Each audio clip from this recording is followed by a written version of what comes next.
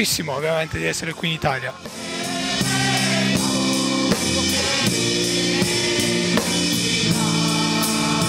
È un grande dolore vedere l'Ucraina in quelle condizioni, però purtroppo si spera di poter tornare lì un giorno, non so quando, non so neanche se sarà possibile.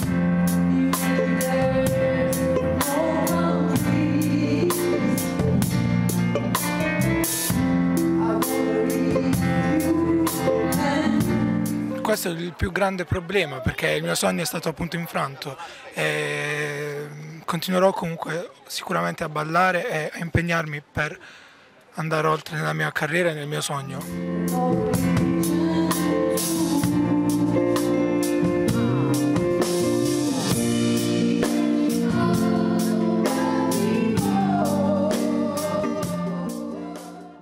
Buonasera, buonasera, benvenuti e bentornati a Labirinti, 141esima puntata, ancora insieme, ancora in rigorosa diretta, abbiamo aperto con le parole di Giordano Signorile, 19enne originario di Capurso, fuggito da Kiev, che questo pomeriggio ha fatto ritorno nel capoluogo. Abbiamo aperto con le sue parole, abbiamo aperto con le note di una delle tante manifestazioni che stanno costellando non soltanto la Puglia in questi giorni, perché stasera ci raccontiamo la Puglia che non sta a guardare particolare vale per la grande macchina degli aiuti che si è già messa in moto. Questo pomeriggio il vertice in videoconferenza del eh, governatore con il console ucraino a Napoli, domattina la partenza della colonna mobile della protezione civile alla volta del centro di smistamento dell'Abruzzo e poi, poi c'è un altro fronte tutto economico che incrocia con quella che rischia di essere la tempesta perfetta per alcuni comparti ma soprattutto che ha una serie serie di implicazioni che ancora non conosciamo ma che potrebbero schiudersi a brevissimo. Di quelle parliamo stasera, colpo d'occhio subito sul totale così salutiamo un pezzo di parterre perché torna con noi Francesca Bottalico che guida l'assessorato al welfare del Comune di Bari.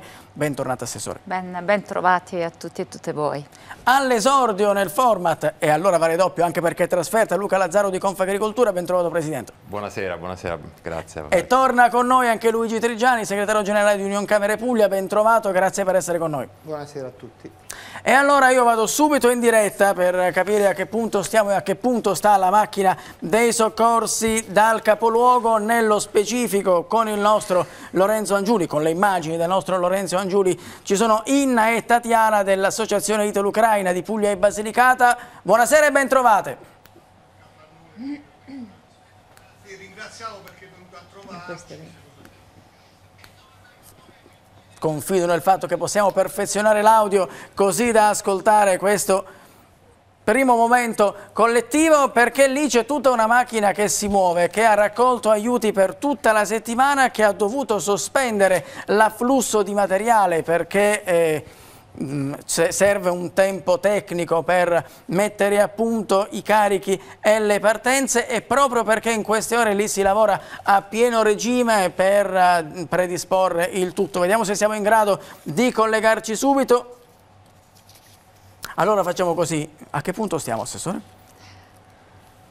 Tantissime sono le, mm, diciamo, le, occasioni, le associazioni, le realtà che in questi giorni, fin dal primo giorno di guerra, si sono mosse. Eh, diciamo, noi come Comune di Bari, assessorato al welfare, dal primo giorno siamo, abbiamo subito contattato l'ambasciata, il consolato di Napoli, ma anche la protezione civile eh, regionale e nazionale affinché tutti gli aiuti fossero coordinati. Le prime informazioni sono state quelle di un po' scoraggiare diciamo, le raccolte non coordinate, ma concentrare l'attenzione specialmente sulla raccolta di farmaci. Proprio per questo abbiamo abbiamo contattato l'ordine dei, dei, farmacisti e Federfarma e Banco Farmaceutico e con loro abbiamo individuato rispetto all'elenco dei farmaci che sono stati segnalati dall'autorità um, dell'Ucraina, una serie di, di farmaci eh, che potessero essere trasportati mantenendo la loro integrità. Abbiamo sottoscritto un protocollo e nelle prossime ore una rete di farmacie si è resa disponibile per essere punti di riferimento a tanti cittadini che in questi giorni si stanno muovendo portando beni, portando ehm, indumenti anche all'associazione italo-ucraina che sono andata a incontrare ieri e che ho supportato perché chiaramente sono tantissimi gli aiuti eh, ed è anche necessario coordinarli, organizzarli non tanto nella raccolta ma nel trasporto e specialmente trovare dei canali ufficiali affinché poi i beni arrivino direttamente diciamo, in frontiera. Anche la Caritas ha um, pubblicato delle circolari pro proprio nelle ultime ore, ieri abbiamo fatto una task force in prefettura per accanto agli aiuti specialmente coordinare poi le accoglienze perché i primi profughi stanno arrivando in tutte le città come sono arrivati a Bari che è una delle città dove arriveranno maggiori profughi. Sono per lo più ricongiungimenti familiari perciò famiglie con mamme e bambini che sono ospiti apparenti o amici dei parenti ma già primi, le primi nuclei familiari sono arrivati in assessorato. Senti che ci torniamo perché questo ci offre anche la possibilità di mappare un modello che già c'è, che già funziona e che abbiamo già visto in funzione quest'estate con l'arrivo dei profughi dall'Afghanistan. Torniamo dall'associazione, vediamo se siamo più fortunati perché il tentativo è quello di farci raccontare che cosa stia accadendo in questa fase della giornata che è quella nella quale si procede allo screening di quello che, eh, che è arrivato in tutto, nel, in tutto il corso della, della giornata. È così?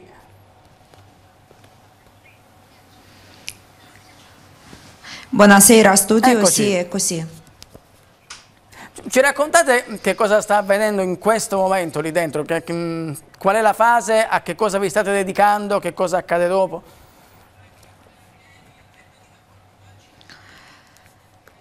Adesso vogliamo dire una cosa, che vogliamo ringraziare tutti i baresi, tutti i pugliesi, gente che a noi ha portato tanti aiuti, medicina, cibo, anche vestiti. Per adesso noi raccolto abbastanza questa tutta roba che adesso stiamo portando tutto questo a Ucraina con i nostri aiuti, con i nostri ragazzi ucraini. Per questo momento abbiamo come abbastanza questo tutto, hai speso questa raccolta. Prossime settimane facciamo sapere quando possiamo raccogliere un'altra.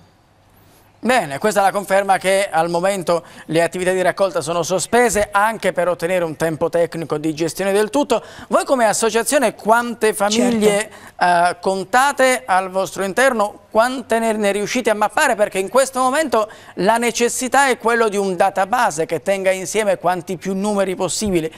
Quanti arrivi vi aspettate da quelle che sono le vostre informazioni? Da nostre informazioni noi aspettiamo tante famiglie, perché tante famiglie diciamo che rimangono a Polonia, anche a Romania, Slovenia. Qui vengono solo familiari eh, che hanno qui famiglie, che ucraini che stanno qui tantissimi anni. Come anche mio figlio è arrivato domenica sera, che io riuscita a salvare mio figlio. Questo è un messaggio di grande speranza. Eh, per qualcuno che arriva cioè, ce ne sono altrettanti che rimangono. Eh, state riuscendo a mantenere i contatti aperti con, con chi è ancora nei territori certo. colpiti dal conflitto? Che cosa vi raccontano, se, se, se è tale da, da poter essere condiviso? Raccontano cose brutte perché stanno distruggendo ogni giorno ogni città e noi stiamo malissimo perché noi stiamo lontano. Questo piccolo aiuto che possiamo fare, facciamo. Solo noi stiamo con il nostro pensiero, con il nostro cuore ogni giorno con loro. Qui con noi c'è l'assessore. Prego. ogni minuto. Dicevo, qui con noi c'è l'assessore Bottalico. È chiaro che come titolare del welfare ha una macchina che è già rodata che cosa potete chiedere in questa fase? Che cosa serve per aiutare il più possibile quella macchina? Che cosa serve perché si incontri con quella istituzionale ufficiale? Al momento è, è tutto volontariato, lì c'è persino no, un negozio che è ancora un negozio e non è un magazzino. Che cosa vi serve adesso e che cosa potete chiedere all'istituzione? Adesso vogliamo chiedere una cosa perché noi abbiamo i nostri ragazzi ucraini che a noi stanno aiutando, che noi facciamo tutto con, eh, diciamo con nostre mani. Vogliamo chiedere una cosa, forse noi possiamo organizzare questa cosa, tutta roba che noi hai raccolto, portare anche con Caritas, con Croce Rossa, perché noi abbiamo pochi ragazzi nostri che può venire qui. Non c'è problemi a confine, assolutamente, che può anche i nostri volontari, quando qualcuno non può entrare in Ucraina, i nostri volontari po possono arrivare e prendere tutta roba. L'unica cosa che a noi è bisogno, prima cosa, portare più possibile roba da mangiare e medicina. Come li stiamo aiutando, Assessore? Come si incrociano queste allora, macchine? noi siamo stati ieri tutto il pomeriggio insieme, sono stata con l'associazione anche perché chiaramente arrivando materiale da tutte le parti di Puglia è stato difficile anche organizzarli. Abbiamo messo a disposizione dei, dei magazzini affinché poi si potessero organizzare al meglio. In questo momento è la protezione civile regionale che sta organizzando i canali ufficiali, perciò loro selezionano e individu individuano solo un certo tipo di materiale, in quanto i comuni hanno avuto anche una direttiva da parte del Ministero della Salute per organizzare un certo tipo di trasporti. Chiaramente saremo sempre in contatto, loro sanno, ci sentiamo in ogni momento, c'è un bel gruppo di donne che sta dando una grande mano, capiremo come diciamo, fare arrivare o comunque diciamo, attraverso anche in maniera in via informale arrivare questa merce, anche se attualmente il Ministero e l'ambasciata hanno detto di bloccare ogni tipo di trasporto. Ieri ci siamo confrontati e stanno arrivando anche tante famiglie qui a Bari, prevediamo altissimi numeri, eh, diciamo attualmente abbiamo fatto l'ultima Prevediamo verifica. altissimi numeri vuol dire che nell'ordine di nell'ordine di tanti numeri, nel senso che ci saranno mh, arrivi sia formali, infatti diciamo, il coordinamento della prefettura, stiamo ampliando una serie di strutture di prima accoglienza, grandi diciamo, strutture per l'accoglienza, ma anche una serie di eh, comunità dove poter accogliere mamma e famiglia. Attualmente sono residenti sulla città di Bari 264 famiglie che, potranno, che stanno già ospitando a loro volta più famiglie, perciò su vie informali. Io diciamo, ho avuto già in contatti con diverse famiglie e già stanno chiedendo una serie di servizi sociali, perciò diciamo, è stata emanata qualche ora fa eh, già una circolare per favorire l'inserimento scolastico, abbiamo attivato una serie di sportelli di mediazione sociolinguistica, degli sportelli di consulenza psicologica. L'ASL già lavora per fornire L'ASL ha già vaccinale. organizzato degli hub per i vaccini perché comunque l'Ucraina ha un bassissimo diciamo, livello di vaccini e anche per la convalida dei, dei vaccini per i bambini. Per i tamponi sono stati organizzati degli hub e, ehm, e, specialmente stiamo attivando una serie di servizi perché chiaramente diciamo, questa accoglienza sia continua nel tempo. Ci sono tanti centinaia e centinaia di telefonate di famiglie ho ricevuto disponibili ad accogliere. Chiaramente eh, mostra ancora una volta una grande solidarietà, però anche l'accoglienza va organizzata perché chiaramente dobbiamo assicurare un'accoglienza continuativa nel tempo e specialmente permettergli anche poi un inserimento all'interno della città perché insomma i tempi, i tempi sono, sono, lunghi. Abbiamo anche previsto delle misure di autonomia anche economiche, dei supporti e, ehm, e chiaramente stiamo anche sviluppando delle piattaforme insieme a una organizzazione eh, nazionale dove diciamo, siamo in rete con le maggiori città, con Milano, Torino, io sono ultima, proprio qualche ora fa ho sentito i maggiori assessori delle città più grandi sì. per creare anche una piattaforma e permettere accanto all'accoglienza diciamo ministeriale perché la prefettura e il ministero che sta coordinando hanno tra un po' lo spieghiamo sono CAS forme. e SAI sono, sono, due acronimi che vanno sciolti intanto vi rassicurano le parole dell'assessore dall'associazione dall c'è un messaggio che stasera volete mandare alle, alla comunità barese che, che vi ha accolto e col quale ci salutiamo? Eh, sì. Noi eh, sappiamo che Francesca sta facendo tante cose, sta aiutando a noi e vuole aiutare e anche da nostra parte arriverà aiuto per lei perché abbiamo tantissimi gente italiani, popolo italiano, che può aiutare a nostre donne e bambini tenere e dare appoggio a casa. Va bene, grazie, grazie a te, grazie ai tuoi ospiti, grazie al nostro Lorenzo Angiuli che ci ha raccontato le immagini di questa serata di lavoro per voi, a voi va tutta la nostra solidarietà e intanto buon lavoro. Buon lavoro a voi. Buon lavoro.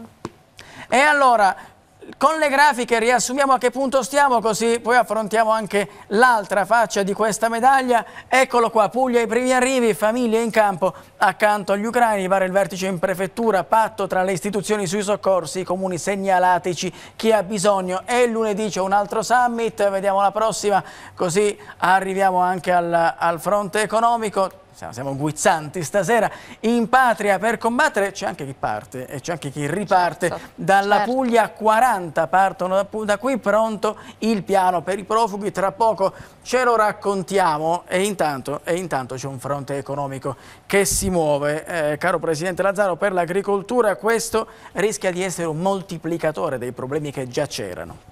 Siamo usciti da una pandemia che ha distrutto eh, molti dei settori produttivi, ha fortemente provato molte aziende agricole, a partire dal settore zootecnico, al settore floro, florovivaistico, eh, ma un po' tutti i settori poi hanno risentito della, delle, delle, difficoltà. L'agricoltura, il settore agroalimentare non ha mai smesso in nessun momento di eh, far mancare i prodotti sugli scaffali durante questa pandemia. Oggi ci, siamo, ci troviamo, siamo appena usciti da questo eh, momento tragico per tutti, per tutti i settori economici e anche per il settore agroalimentare, entriamo in un nuovo settore momento inesplorato, nuovo al, per tutti quanti noi che è quello di un conflitto, un conflitto che sembra eh, possa durare eh, anche abbastanza eh, a lungo, purtroppo ci auguriamo che questo possa invece eh, cessare nel più breve tempo possibile, però eh, c'è una situazione che ovviamente va a impattare in maniera importante sul, sulle aziende agricole. Innanzitutto l'aumento dei costi di produzione, il costo dell'energia un po' per tutti i settori produttivi eh, eh, e anche quindi per l'agricoltura, il costo dell'energia veramente alle stelle, i costi del, dei, dei, carburanti per i, nostri, per i, nostri, mezzi agricoli. I e... fornitori di materie prime e esatto. alimenti per animali stanno chiamando per dire ai clienti che non rispetteranno le consegne. Esatto, ci sono eh, i fornitori di eh, mangimi, concimi, che stanno telefonando alle nostre aziende, anzi formalmente inviano delle PEC dicendo che sono sospesi i contratti perché non possono soddisfare quelli che sono eh, eh, gli impegni che hanno assunto. E questo è molto, molto problematico perché ovviamente eh, ci sono dei mezzi tecnici che sono essenziali per le, le nostre produzioni, tutti i prodotti su base azotata e, e, che ovviamente stanno avendo delle grandissime difficoltà per essere, eh, per essere mh, trasferiti qui nei nostri, nei nostri territori e, eh, e, quindi ovviamente questo va a risentire in maniera importante su tutto quello che è l'attività dell'azienda agricola e poi per l'effetto eh, sui bilanci delle, delle, stesse, delle stesse aziende con l'aggravante che eh, il blocco delle transazioni economiche con gli agricoltori pugliesi vuol dire che chi aveva già esportato del materiale comunque non potrà ricevere pagamento e viceversa. Certo, poi c'è un altro aspetto che è quello che diceva lei proprio delle transazioni economiche. Bloccandosi un mercato, bloccandosi un mercato che è quello russo, in modo particolare c'è anche il problema dell'export eh, noi eh, abbiamo la federazione russa era un eh, obiettivo, un target obiettivo importante con tutta una serie di, eh, di aspetti, seppur in forma triangolata, eh, ma eh, abbiamo ovviamente tutta una serie di, di aspetti che vanno a impattare su tutti i settori del settore agroalimentare. Noi abbiamo delle grandissime eccellenze, dal vino all'olio che ovviamente ai formaggi, i nostri formaggi pugliesi sono delle grandissime eccellenze tendenze che ovviamente vedevano il mercato, il mercato russo come un mercato di sbocco importante. E ovviamente qui c'è un, un, rallentamento di tutto questo e ovviamente dobbiamo, eh, dobbiamo fare in modo che queste, le nostre aziende siano sostenute. Infatti da subito mi sono messo in contatto, dal primi momenti, messo in contatto con l'assessore Pentassuglia della Regione Puglia, l'assessore all'agricoltura eh, della nostra regione per mettere in pista tutta una eh, serie di sostegni. Quale sia lo queste, spazio di manovra per perché lunedì dovrebbero arrivare in giunta questi, questi aiuti, lunedì volente o nolente un pacchetto lo avremo sotto mano e proveremo a capire quanto quel pacchetto possa essere efficace. In grafica intanto abbiamo l'allarme per l'export e materie prime, regione al lavoro, c'è l'ipotesi ristori, timore per l'agroalimentare, la collaborazione con il governo. Caro, caro Trigiani, il dato di fatto è che nel frattempo sono arrivate le prime disdette. Sono le prime disdette degli importatori russi, vino, olio e prodotti da forno, quel che è peggio è che è soltanto la punta dell'iceberg. In realtà è soltanto dire, la prosecuzione di, un, di, quello che era un problema che è cominciato eh, a metà del 2014. Noi con la Russia avevamo già chiuso, nel senso che dalla metà del 2014 eh, c'è stato un blocco che eh, riguarda soprattutto i prodotti derivati del latte, l'ortofrutta, i nostri agrumi, la nostra uva, che diceva bene il Presidente Lazzaro, venivano in qualche modo esportati con triangolazione, cioè si, si, vendeva ad aziende serbe e poi magari diciamo che poteva diventare russo, ma non si vendeva, non si poteva vendere nella federazione russa. Questo già da anni. Tutto questo cosa ha comportato? E adesso peggio, da, da qualche giorno sarà peggio. Ha comportato il fatto che nel frattempo il grandissimo mercato russo, sul quale noi eravamo già in ritardo nel 2014, considerando che nel quinquennio precedente le esportazioni verso il mercato russo erano cresciute del 111%. Quindi ci stavamo solo preparando a servire quel mercato, stavamo imparando ad esportare in maniera strutturata, quando nel 2014 è arrivata questa mazzata. Dopodiché, appunto, non solo si è esportato molto meno, oggi eh, esportiamo poche decine di milioni di euro, ancora prima di questa crisi ultima, ma è tutto quello, appunto prodotti farmaceutici, che era possibile perché tutto il resto era formalmente, magari andava sulla piattaforma di Verona, il nostro prodotto, la nostra frutta, e poi attraverso appunto una serie di... No, ma no, l'Italia e le aziende pugliesi non esportavano, dicevamo. Ma in più appunto abbiamo il problema che eh, nel frattempo sono cresciuti altri grossi mercati d'offerta. La Turchia era già partita, l'Uzbekistan, le ciliegie uzbeke hanno per quantità e per, per organizzazione delle aziende, sono competitive, l'Azerbaijan sta partendo, cioè nel frattempo se noi per 6-7 anni non forniamo quel mercato, la concorrenza internazionale è agguerrita. Quel vuoto in un modo o nell'altro si e riempie. questo vale per l'agroalimentare come per tutti gli altri settori, Come tutte le regole di mercato. Tra poco ci torniamo, abbiamo già il primo tassativo pubblicitario e poi da qui ripartiamo, state con noi.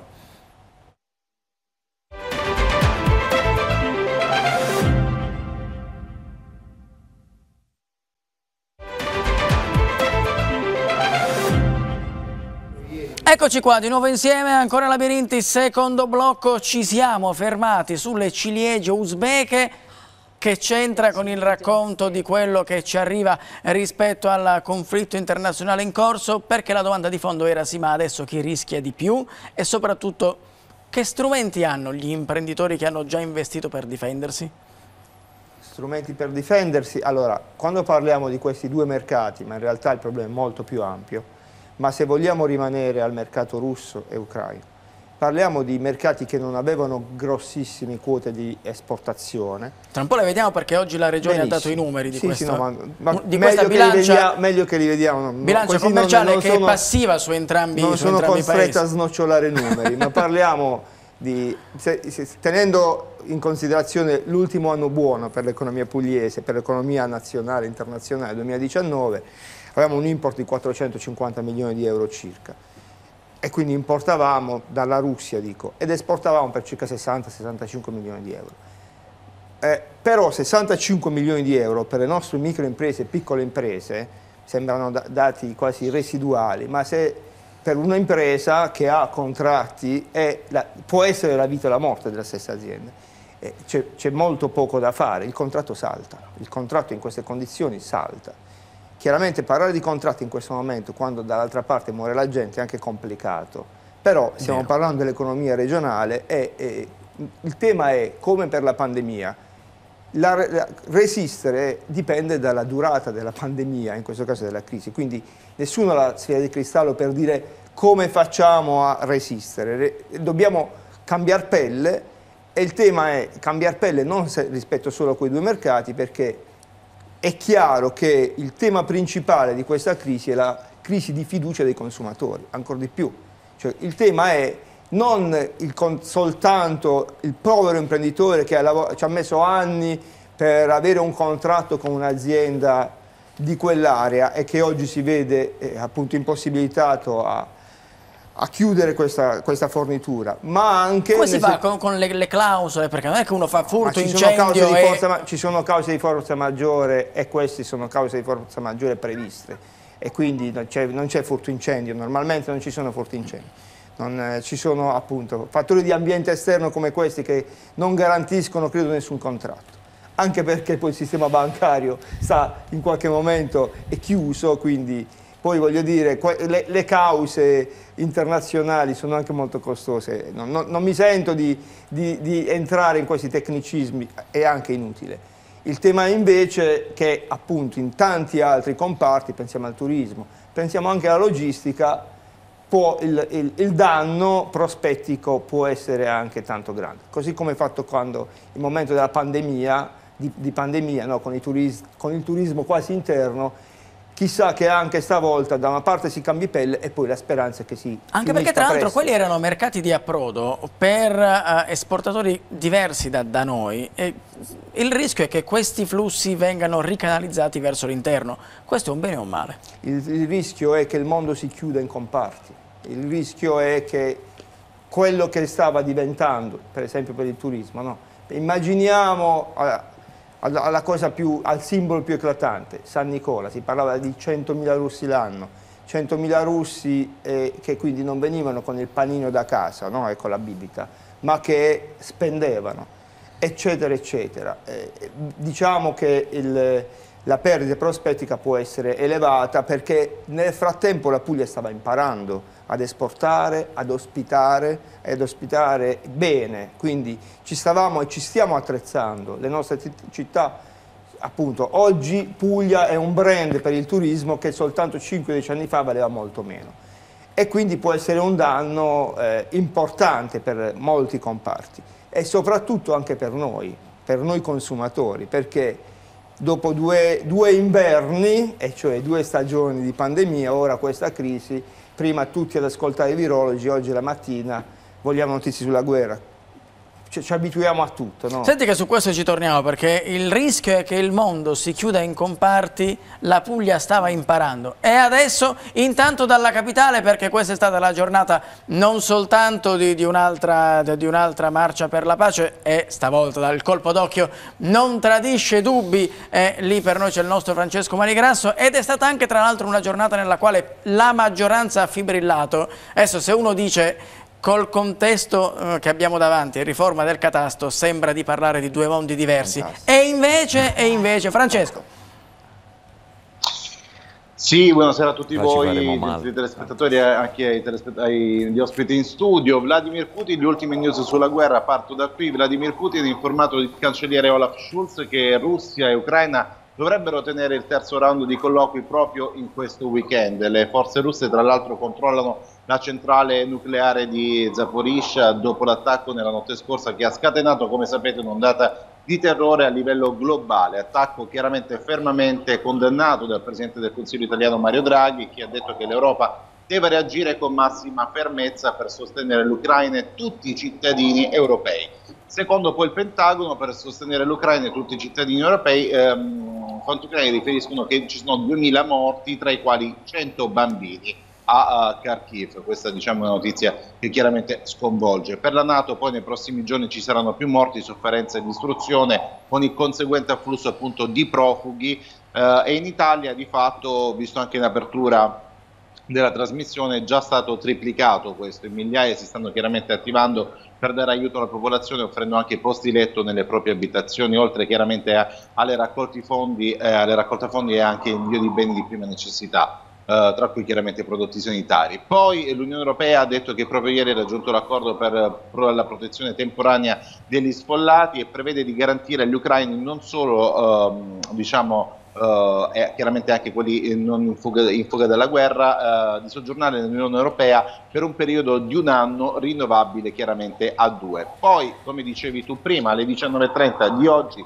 si è tenuta anche una manifestazione per la pace sotto il Campidoglio a Roma, la seconda in verità organizzata dal sindaco di Roma Gualtieri e a cui ha preso parte chiaramente la comunità ucraina, lo vedete dalle immagini, eh, tra gli altri era presente il ministro Andrea Orlando e anche il segretario Dem Enrico Letta che però non ha voluto eh, rilasciare dichiarazioni, l'unica cosa che ha detto è stata parlano chiaramente le fiaccole per me. Uh, sotto l'aspetto economico, come dicevi poc'anzi, la guerra tra Russia e Ucraina chiaramente spaventa i mercati e fa uh, tremare non solo l'Europa e più in particolare l'Italia riguardo l'approvvigionamento di gas proveniente dalla Russia. Ricordiamo che il governo, come annunciato dal Presidente del Consiglio Draghi, uh, considerano l'ipotesi di far ritorno al carbone. Ricordo infatti che un mix energetico diciamo debole, quello italiano, fatto appunto di rinnovabili ancora insufficienti e di troppo gas ehm, del quale acquistato appunto dalla Russia. Da un lato poi il fronte ambientalista fa sentire la sua voce contro l'eventuale ritorno al carbone dichiarato altamente appunto inquinante, dall'altro c'è invece chi punta l'attenzione sulla necessità di diversificare. Uh, lo hai detto poc'anzi, è vero, sembra diciamo, parlare di un'altra questione ma in realtà è collegato perché Uh, poteva cadere il governo di fatto ieri e quindi tutti gli aiuti che stavamo quasi per inviare potevano insomma uh, non essere inviati. Questo parliamo appunto del voto um, che un solo voto ha salvato la riforma del catasto di Mario Draghi. La maggioranza ancora una volta si era spaccata in commissione alla Camera, Lega, Forza Italia e Coraggio Italia, lo ricordo eh, che si sono diciamo, schermate contro il governo provando appunto a cancellare la mappatura degli immobili prevista dall'articolo della legge di delega fiscale approvata nell'ottobre scorso in Consiglio dei Ministri, dove però era assente eh, la Lega. Il Partito Democratico, Pentastellati, Italia Viva e Leo avevano difeso il testo a spada tratta insieme a chiaramente ai centristi di Noi con l'Italia, finita poi appunto con 23 voti favorevoli e 22 contrari. Chiaramente poi si è aperta anche una discussione per quanto accaduto, sulla questione è intervenuta anche Giorgia Meloni che eh, di fatto ha detto che non è possibile che dopo due anni di pandemia adesso eh, ci sia una nuova stangata eh, per quanto riguarda gli italiani. Va bene, va bene, grazie Francesco, questo basti avanza a capire il clima, grazie per, eh, dire, per aver seguito per noi gli eventi di questa giornata, intanto a presto. Grazie a voi, buon lavoro. Perché è chiaro che qui la sfida sia pesare e soppesare il decreto energia, pesare e soppesare la, la roadmap energetica dei prossimi anni. Io però riparto dalla sollecitazione del, del segretario. Il rischio è che qui ci si chiuda nei comparti. Adesso lo stato dell'arte è che sullo scaffale non è che domani manchino i prodotti, però ci sono pezzi di mercato che si stanno spostando e rincari, sto pensando al grano tenero sì, beh, certo, il grano tenero ovviamente con grande produzione in Ucraina e in Bielorussia ovviamente eh, va a impattare in maniera significativa anche quel tipo di, di, di sistema di approvvigionamento e ovviamente impatta sia per quanto riguarda il sistema della mangimistica sia per quanto riguarda l'alimentazione la, la, e quindi il pane, i biscotti e quant'altro. questo ovviamente va a eh, significare insieme al grano, al grano, duro che ovviamente è grande produttore della federazione russa eh, con tutto quello che riguarda il sistema della pasta. Uh, ovviamente uh, su questo... La Puglia è il principale produttore italiano di grano duro, ma è anche tra quelli che ne importa di eh più. Beh, certo, la, la, pasta, la pasta in che Italia Che fine ha fatto il fa... granaio d'Italia? Beh, produciamo grandi quantità di, di, grano duro, siamo degli eccellenti produttori, facciamo del, del, dei prodotti straordinari, i nostri cerealicoltori sono veramente dei grandissimi maestri su questo, ovviamente sulla cerealicoltura andrebbe fatto un ragionamento più ampio che parte dalla PAC per arrivare a un sistema anche regionale sul PSR che va visto anche la cerealicoltura con un sistema, un vero e piano cerealicolo nazionale e anche considerato il livello di, eh, di, impatto che ha sulla Puglia anche regionale. Su questo per esempio stiamo lavorando molto bene sul settore olivicolo, abbiamo posto un'attenzione importante perché il settore olivicolo era quello che veniva più impattato dal, dalla riforma della PAC e stiamo cercando di correggerlo sia a livello nazionale con il Presidente Gianzanti e eh, l'assessore Pentassuglia eh, con interventi con, sul Ministro importanti che hanno fatto inserire due, tre, ben tre ecoschemi, di cui due eh, specifici per l'olivicoltura eh, che vanno ad attutire quello che è il, la riduzione di contributi per il settore olivicolo e su questo stiamo lavorando anche tantissimo in Regione Puglia con la, il nuovo PSR. Allora, andiamo per gradi, intanto questi sono i timori di Donato Pentasuglia, titolare del Dicastero regionale all'agricoltura e poi ricominciamo.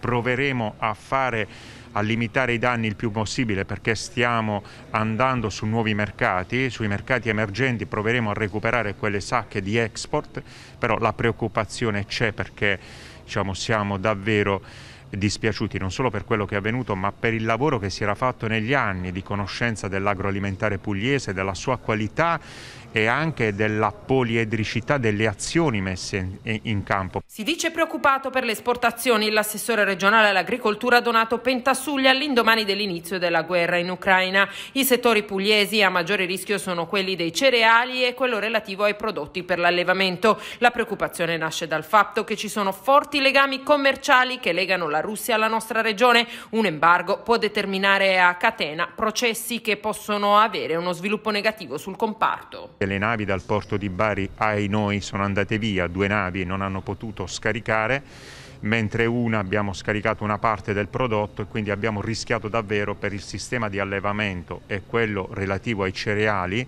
per la loro trasformazione, di non avere prodotto. Quindi è un tema questo che impatta sulle attività della nostra regione. La diplomazia eh, diciamo, intervenga eh, fin dove è possibile affinché davvero non si piangano eh, perdite importanti perché significa riduzione di posti di lavoro, addirittura la mancanza di materia prima per gli allevamenti pugliesi. Tra poco ci torniamo e intanto mh, mm, volevo ricollegare a quello che diceva il segretario. Mm.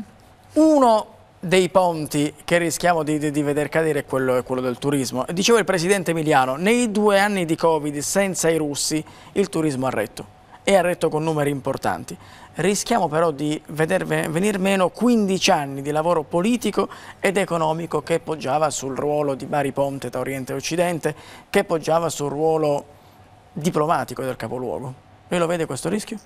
Beh certo, diciamo, questa situazione prima della pandemia, perciò diciamo, tutto il blocco anche internazionale degli spostamenti, ora questo momento, io credo che non dobbiamo mai perdere la fiducia, lo dico insomma per chi lavora quotidianamente con l'emergenza e con le persone. Bisogna investire, bisogna crederci, bisogna forse anche diversificare, cioè far sì che anche si, mh, si sviluppino varie uh, aree diciamo, del turismo. È stato detto insomma l'aspetto alimentare, l'aspetto della produzione, ma anche l'aspetto degli spazi, delle bellezze della, della nostra regione, sono delle risorse incredibili abbiamo bisogno di costruire politicamente, amministrativamente anche nuove forme diciamo, che favoriscono e sostengano il mondo del turismo, il mondo dell'accoglienza, ma anche il, il, mondo della valorizzazione artistica e, e anche ambientale della nostra regione in questo senso.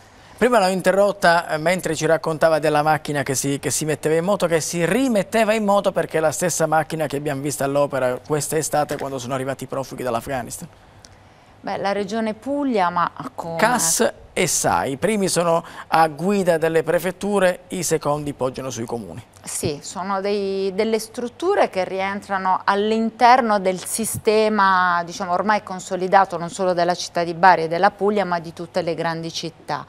Eh, sono state diciamo, pubblicate delle circolari che appunto mh, indicano e chiedono alle varie prefetture di tutte le di tutte le città di potenziare i CAS nel caso in cui arrivino grandi, quanti, diciamo, grandi numeri che non sono ancora previsti, sia per, attraverso i corridoi umanitari ma anche nelle forme più informali, ma anche eh, grazie diciamo, al lavoro che ha realizzato l'ANCI a livello nazionale, l'ANCI nazionali, sono state destinate nuove risorse agli enti locali per poter potenziare anche le strutture appunto dei, dei SAI, che sono strutture invece medio-piccole che permettono un'accoglienza diffusa. Chiaramente come accadeva con gli afghani, ma come accade con il flusso migratorio è necessario che ogni comune diciamo, sviluppi delle strutture di accoglienza in maniera tale anche da rendere diffuso e più, eh, diciamo, più, insomma,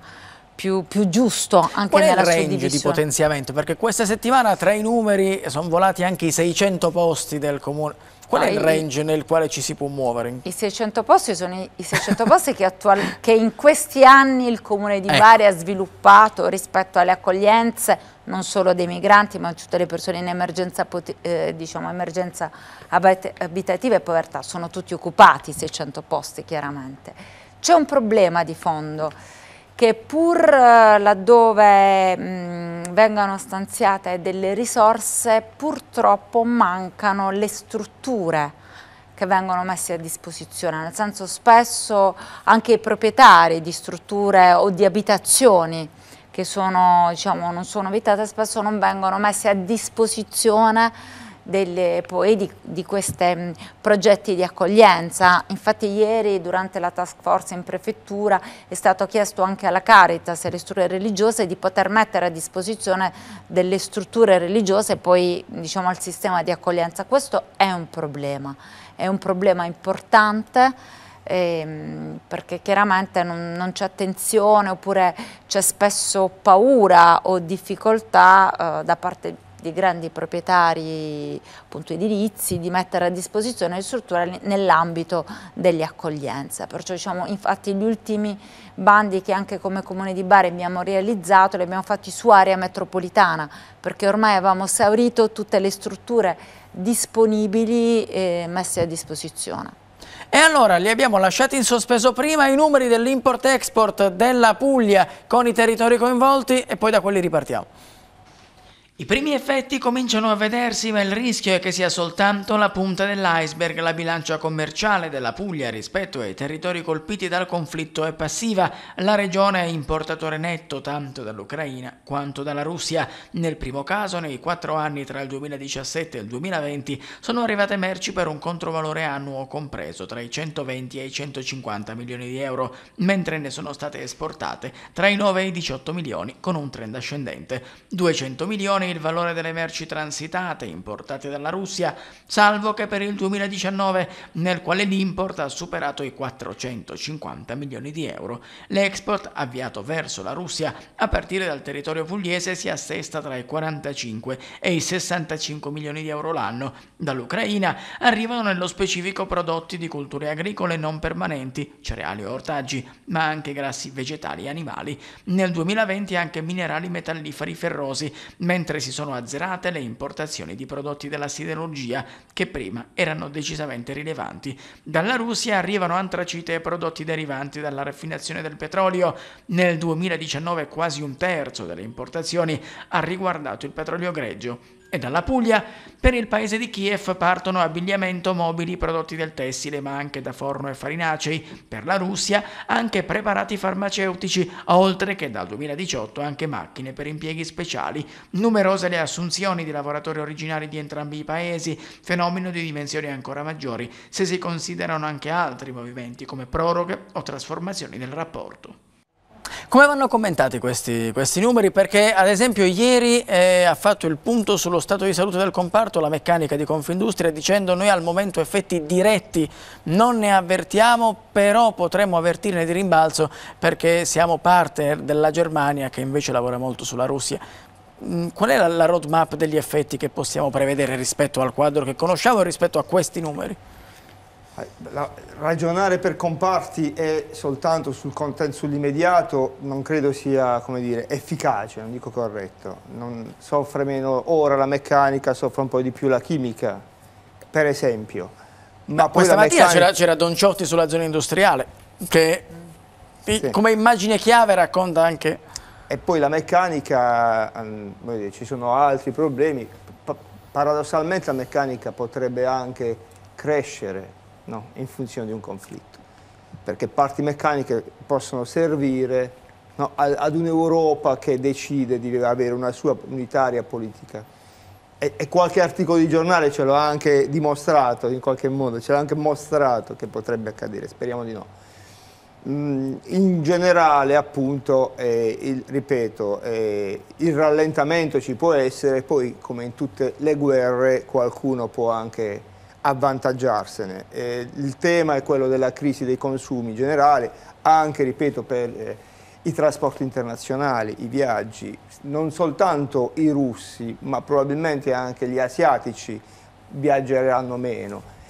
Allora le catene internazionali, le compagnie aeree internazionali che già sono provatissime e già sono state sostenute tutte a livello mondiale, non soltanto la nostra, dai governi, eh, se avranno un altro rallentamento. Questi sono dubbi, non ci sono, ripeto, non ci sono previsioni possibili. Quel che è certo è che noi ci stiamo aspettando... La sarà il tempo, se dura per alcuni versi può essere un'occasione, non solo politica, anche economica, occasione è una parola grossa perché ci sono dei morti, però potremmo anche rafforzarci. L'Europa potrebbe scoprire per la prima volta di essere un mercato d'offerta, un mercato di sbocco importante, ma quando e, per quanto tempo? No? Lo stesso, lo stesso, problema dei, dei concimi o lo stesso ancora problema energetico ci può costringere a fare a fare molto velocemente quello che non è stato fatto in tanti anni e poi il gas, una, una domanda che faccio non da esperto perché non lo sono, noi abbiamo riserve di gas ancora per molti mesi e però il gas aumenta, ma noi quel gas ce l'abbiamo già in Italia, già nei nostri magazzini da qui fino alla prossima estate, però il prezzo aumenta lo stesso, anche qui.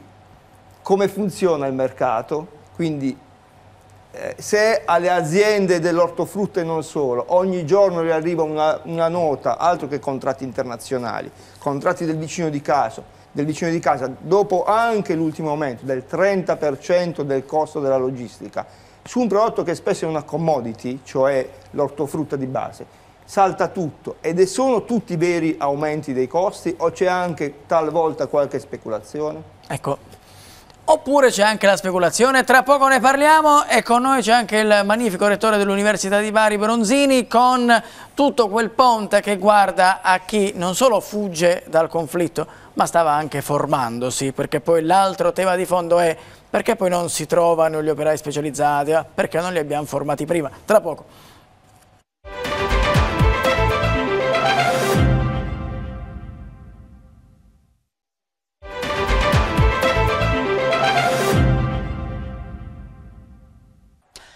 Eccoci qua di nuovo insieme, di nuovo Labirinti, ultimo miglio di questa puntata e lo facciamo attraversando uno dei fronti che fin qui non avevamo ancora toccato, quello della formazione, perché ci sono dei fili rossi di competenze che rischiano di essere eh, lasciati sospesi dal, dal conflitto che stiamo raccontando. Di questo e di quello che abbiamo già messo in campo, perché così non sia, parliamo con Stefano Bronzini, che è rettore dell'Università degli Studi di Bari, ma anche presidente del CURC, il Comitato di Coordinamento del Sistema Universitario Pugliese. Ben trovato professore, grazie per essere con noi. Grazie a voi, buona serata. E allora le università pugliesi sono pronte ad accogliere studenti ma anche i professori che arrivano dai territori colpiti dal conflitto. La regione si è resa già disponibile a farlo. Ci sono alcune strade percorribili che passano ad esempio dall'allungamento del periodo di permanenza degli studenti in Erasmus ma anche da alcune borse di studio dedicate. A che punto stiamo?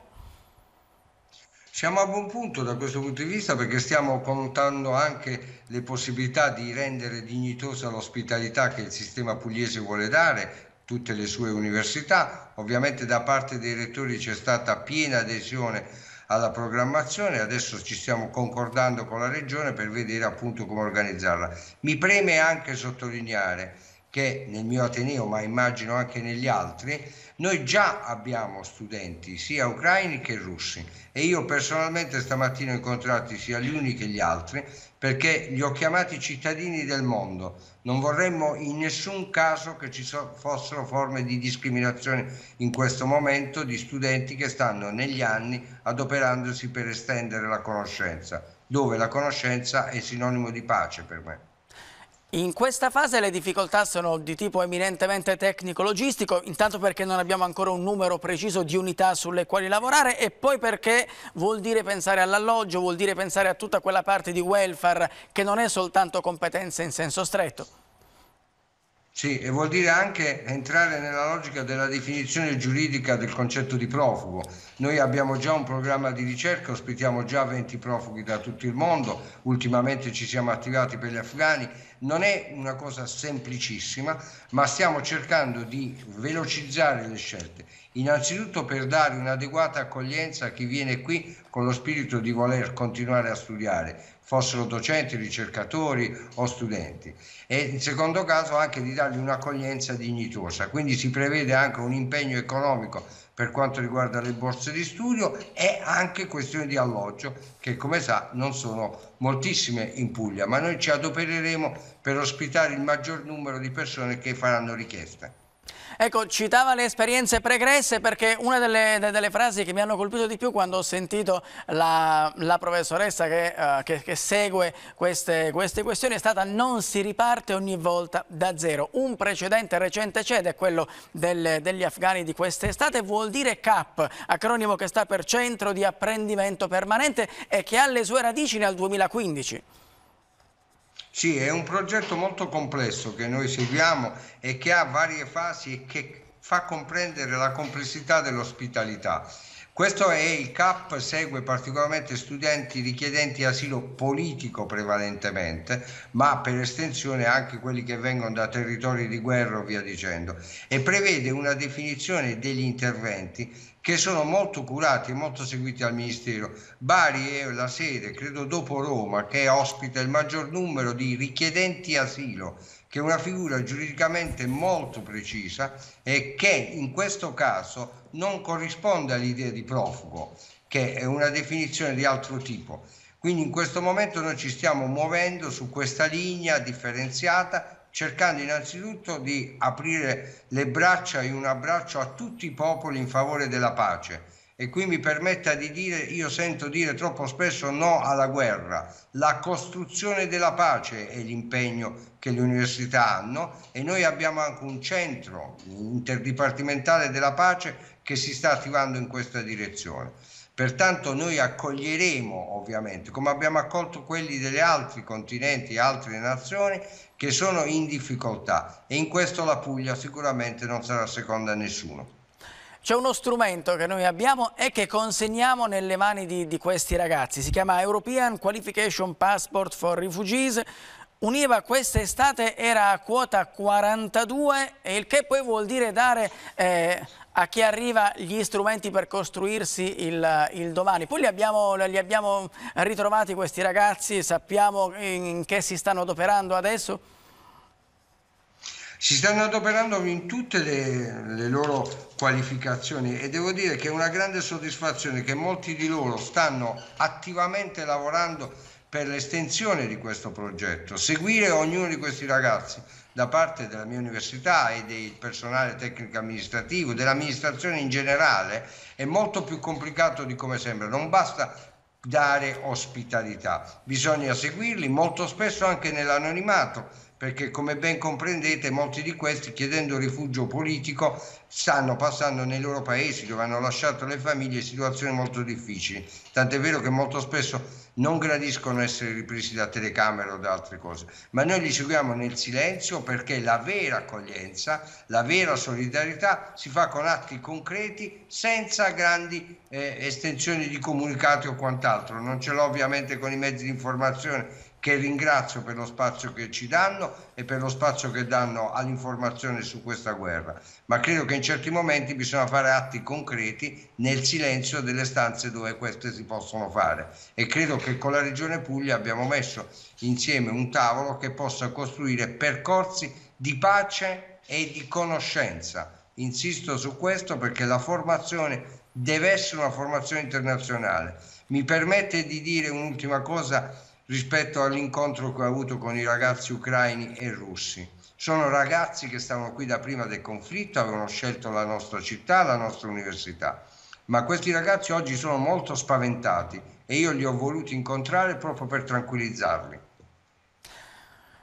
No, non posso che, dire, che, che, far mio il suo appello alla discrezione. Quando si, si parla della, della, vita delle persone si entra sempre in punta di piedi, qualunque sia il mestiere che, che si fa. E allora le chiedo anche, se le dico Dostoevsky alla, fine di questa settimana travagliata, che pensa? Perché c'è chi dice c'è un altro rischio che è quella della cultura del colpo di spugna, la cancel culture. Lei ce lo vede questo rischio? Uh, lei mi permette di rispondere con una battuta. Qui siamo arrivati al paradosso che cancelleranno l'insalata russa. Dostoevsky è caduto e inciampato in una trappola uh, terribile. Tra l'altro chi ha fatto questa gaffa, questo inciampo involontario che può accadere, per cui assolutamente saluto affettuosamente la rettrice della Bicocca, cara amica e persona molto attiva, chi inciampa in questo evidentemente non ha mai letto Dostoevsky. Quindi io in questo momento ho detto alla mia università che dobbiamo parlare sempre più di Russia, di questioni annesse e mi permetta di dire Dostoevsky è stato una vittima delle censure e forse in questo momento comprare qualche libro di Dostoevsky non farebbe male. Aggiungo, la mia università ha invitato il professor Nori a tenere una conferenza, lui gentilmente mi ha risposto che sta, calendarizzerà un incontro a breve, ma nei prossimi giorni io vorrò organizzare, oggi ce n'era uno, ma ne organizzeremo un altro, eh, per parlare di pace, perché questo è il tema che dobbiamo sottolineare e credo che in questo tutte le forze debbano avere la coscienza, l'impegno e la responsabilità. Non basta dire no alla guerra, dobbiamo costruire, ed è molto più faticoso, come insegna lo stesso Papa Francesco, la parola pace nella cultura diffusa delle future generazioni e nostra in primis. Non aggiungo altro, grazie Magnifico per essere stato con noi, buon lavoro. Grazie a voi e buona serata ai telespettatori. Ed allora siamo al, al giro finale, l'ha sentito il, il, racconto sul rischio della cultura del colpo di spugna questa settimana, Bari ha discusso anche della famosa targa di Putin, lei ce lo vede questo rischio? Sono incidenti di Beh, percorso? Credo che sia un momento particolare questo, il sindaco ha fatto alcune dichiarazioni, non si può cancellare la storia, come non si può cancellare il rapporto con, con un popolo, diciamo i governatori, i dittatori sono, sono Eccola una qua, cosa... quel dono ecco, resta, quel dono... De Caro, la storia non si cancella. Non si cancella la storia, non si cancella l'amicizia fra, fra, fra i popoli, fra le comunità ci sono tanti russi che vivono nella città di Bari, dei professionisti, delle relazioni, perciò diciamo, questo credo che no, non può essere messo in discussione.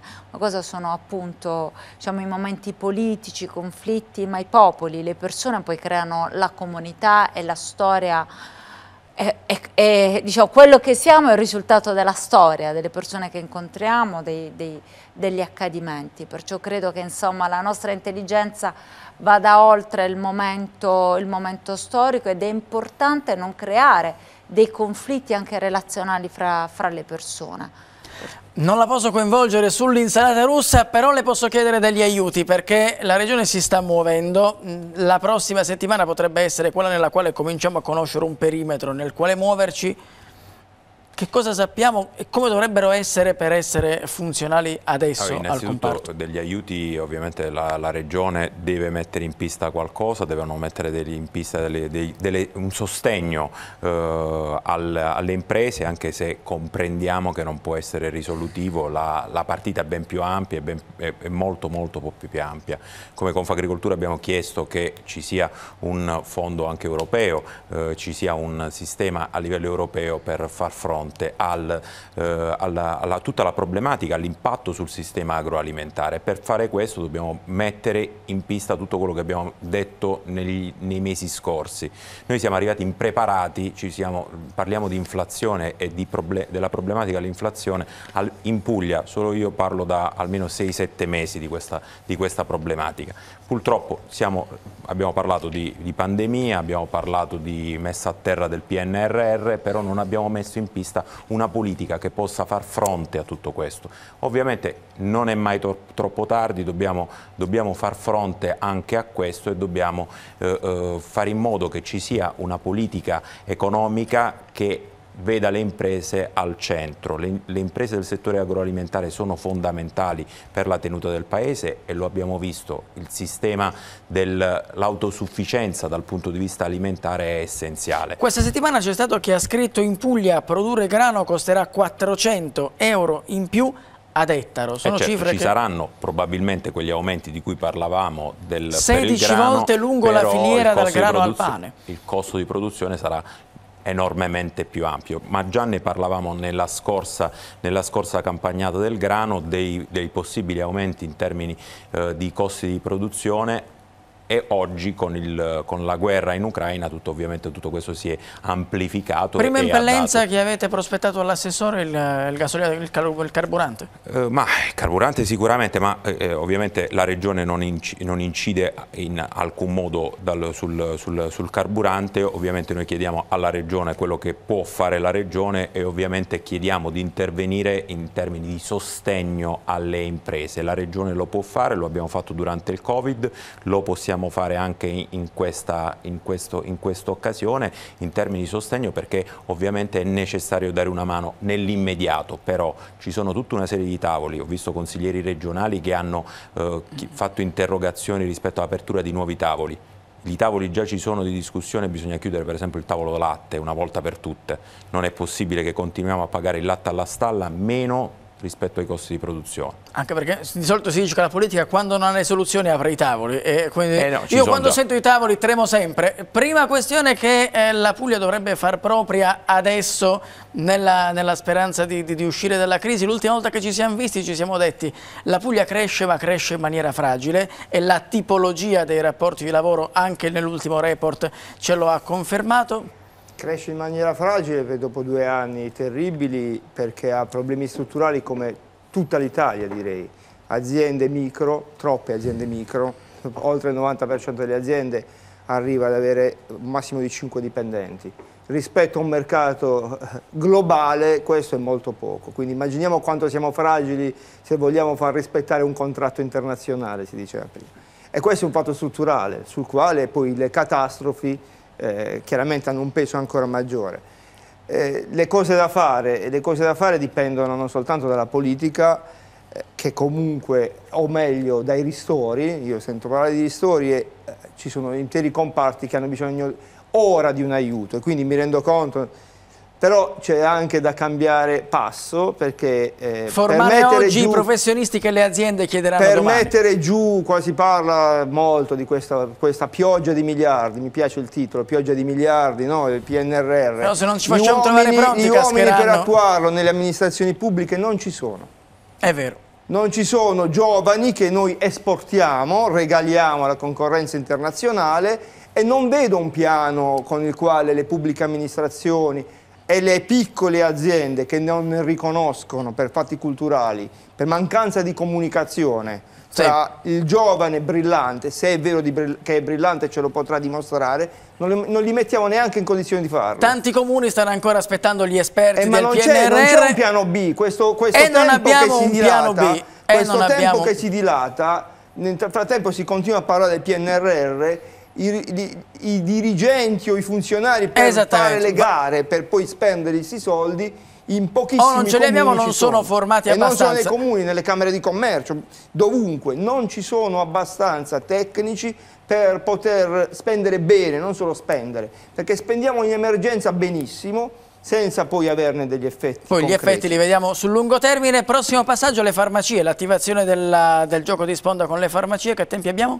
Sì, credo che nelle prossime 48 ore più o meno stiamo aspettando la lista delle farmacie di Federfarma che aderiranno diciamo, a questo programma che eh, realizzeremo in maniera sperimentale sulla città di Bari, ma già tanti comuni mi hanno chiesto di poter poi esportare diciamo, il modello, perciò avremo un elenco di farmacie, abbiamo già definito dei kit base alla quale i cittadini potranno, diciamo, tra virgolette, acquistare, una rete di trasporti di corrieri e un collegamento diretto con la protezione nazionale, protezione civile nazionale per poi eh, diciamo, trasportare in maniera sicura, integra e nel rispetto appunto delle caratteristiche dei farmaci fino in frontiera diciamo, l'occorrente. Grazie, grazie a tutti e tre. Noi non ci vediamo tra sette giorni esatti come da, da formula che chiude da, da, tradizione le puntate. La rete ci ha chiesto di uh, spostarci, di presidiare la serata del lunedì dal 14 di marzo. Così sarà. Grazie a tutti e te, grazie a Trigiani, grazie Presidente, grazie, grazie Assessore. E intanto grazie a chi si è collegato con noi e a voi per averci scelto. Buonanotte.